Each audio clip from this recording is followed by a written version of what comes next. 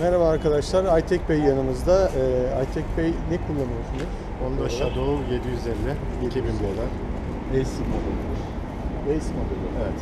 Ee, ne kadardır kullanıyorsunuz motoru? Bu geçen yaz Ağustos ayında aldım. İkinci model. CC bunu aldım. Sisi değil. Daha önceden ne kullanıyordunuz? 250 biçimler vardı.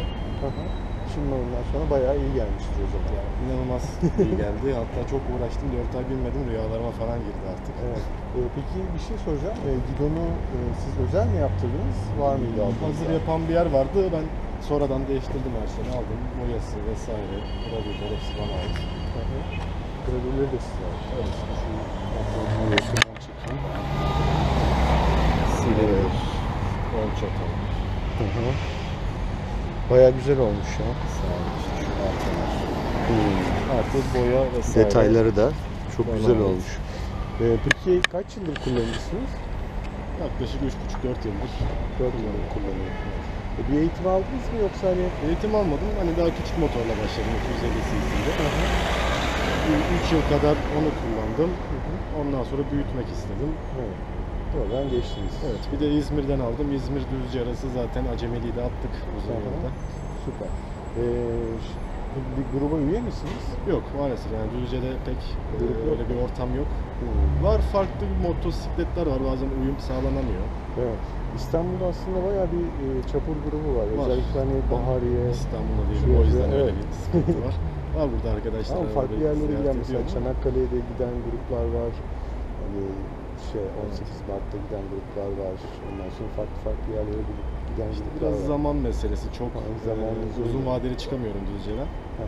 2 gün, 3 gün öyle Evet. turlarda. Ama öyle bir tur olursa yani katılmak isterim veya işte arkadaşlarım motorcu yapmaya çalışıyorum. Aha, en kolayı o zaten. İşte evet var birkaç tane bakalım. Aha.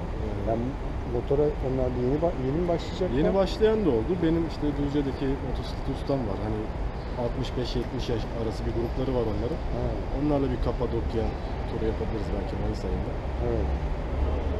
Ee, şey, e, peki e, şey, kaç kilometre yaptınız yaklaşık?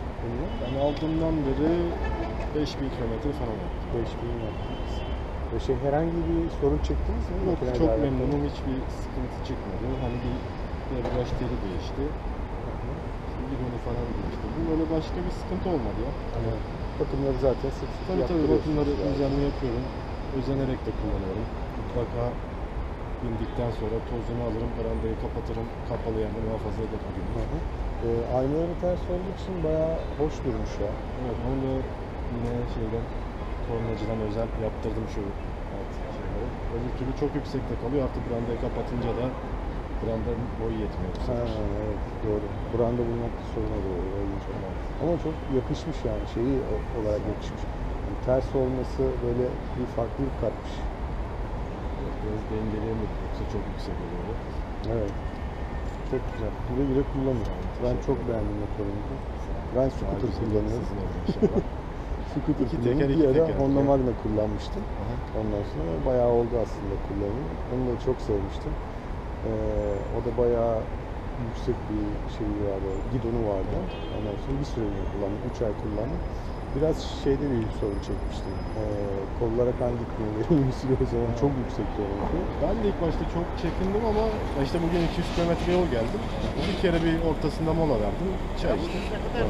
Devam ettim öyle belli bir şeyden sonra alışıyorsun. Ha, uzun bir gezi çıkmadı.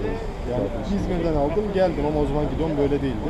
Evet. Yani 708 kilometre yol yaptım daha alçak Bunları 200 kilometre yaptım. Evet. Zaten hani keyif içi olduğu için ben bir de yok. Yorulursam kenara çekiyorum, çay içiyorum, dinleniyorum. En güzeli o zaten. Keyfini çıkara çıkara geziyorum yani. Çok teşekkürler verdiğiniz bilgiler için. İyi günler. Görüşmek üzere.